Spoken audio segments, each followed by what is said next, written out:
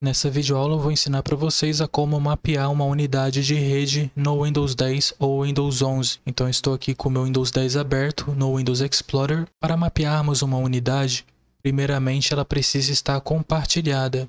Aqui no meu caso eu tenho essa partição com a letra A, com o nome de Windows 11. Dentro dela tenho essa pasta encriptada, então eu irei mapeá-la. Mas primeiramente preciso compartilhá-la. Então navego até Propriedades, compartilhamento, veja que ela não está compartilhada. Vou tocar em compartilhamento avançado. Vou tocar sobre compartilhar a pasta. Aqui você escolhe o nome para o compartilhamento. Eu vou deixar com a letra A mesmo. E vou tocar em aplicar ou OK diretamente. E fechar.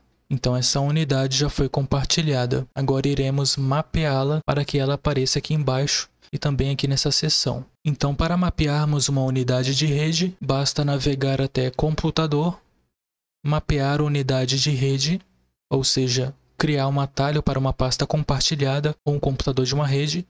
É para isso que essa função serve. Toco aqui em cima então, escolho a letra da unidade, tem que ser uma que não está em uso no momento. Vou escolher a letra Z. Aqui no campo de pasta, vocês vão fazer o seguinte, vocês irão pegar o endereço IP primeiramente, para isso, vamos executar o cmd e digitar o comando ipconfig. Aqui dentro ele vai listar o seu endereço IP, o meu esse daqui, IPv4. Seleciono ele, dou um Ctrl C para copiar. Copiou o endereço IP. Digite o comando Windows mais a letra R e aqui nesse campo digite barra barra e cole o seu endereço IP. Você pode abrir essa janelinha também clicando com o botão direito do mouse no menu iniciar e clicando sobre executar. Então cola esse comando aqui novamente, lembrando que tem que ser o seu endereço IP da sua máquina, e após isso toque em OK. Daí em seguida você será levado até essa janela, onde o Windows Explorer vai exibir as pastas que estão compartilhadas na sua rede local. No meu caso, eu vou mapear a unidade com a letra A. Então eu acesso ela, e aqui no campo de endereço, eu copio o endereço dela. Dou um Ctrl C ou o botão direito do mouse e copiar Daí eu volto aqui nas configurações de mapeamento de rede e colo o endereço no campo pasta.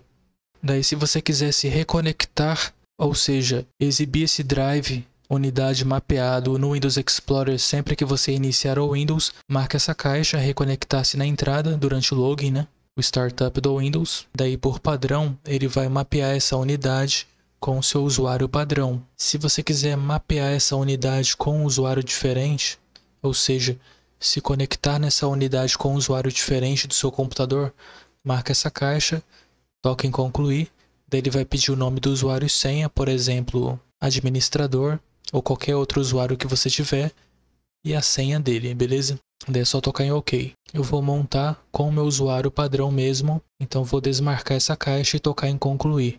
E pronto, a sua unidade foi mapeada aqui embaixo com a letra Z no meu caso. Uma segunda forma mais prática ainda, caso você já conhecer a pasta que está compartilhada, é navegar até ela. Por exemplo, eu tenho uma pasta chamada Cursos e Videoaulas que está compartilhada. Então, se eu acessar as propriedades dessa pasta e navegar até compartilhamento, veja que aqui ele me exibe o caminho de rede, que é o endereço dessa pasta compartilhada na rede. Então, posso vir aqui copiá-lo Aí repete processo.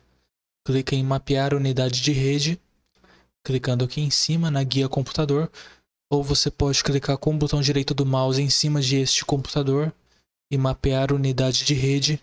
É uma segunda forma também de acessar esse menu. E repete processo.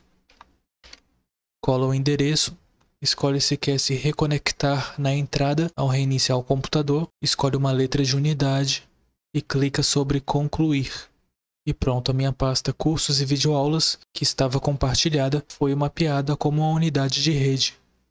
E existe uma terceira forma também de fazer isso, pelo CMD do Windows. Então abra ele, clicando com o botão direito do mouse no menu iniciar. Pode executar no modo normal mesmo, sem ser como administrador. E aqui dentro você vai digitar o comando net use, net espaço use dessa forma. Em seguida, se quiser atribuir uma letra para o drive mapeado, digite ela, por exemplo, Z, aí digita dois pontos. Se quiser que o Windows atribua automaticamente, digite o asterístico dessa forma, espaço, aspas duplas, e aqui dentro delas coloco o endereço da pasta compartilhada.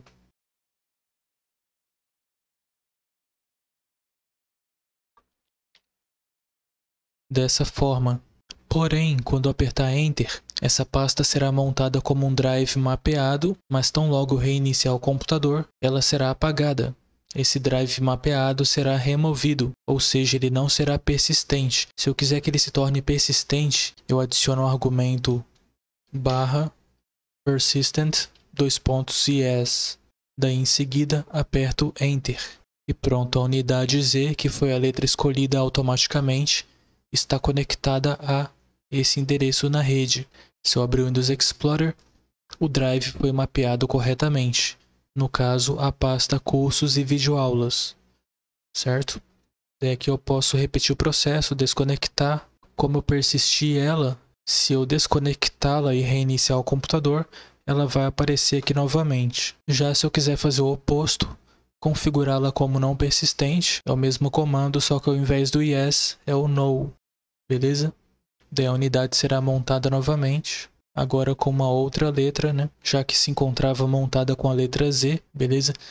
Aí se você quiser deletar um drive mapeado, é só digitar o seguinte comando: net espaço use digita a letra da unidade. Eu vou deletar isso daqui com a letra Z, dois pontos, espaço, barra, delete. E pronto, foi apagado. Beleza? Vou fazer o mesmo com a letra Z. Ops, letra Y, né?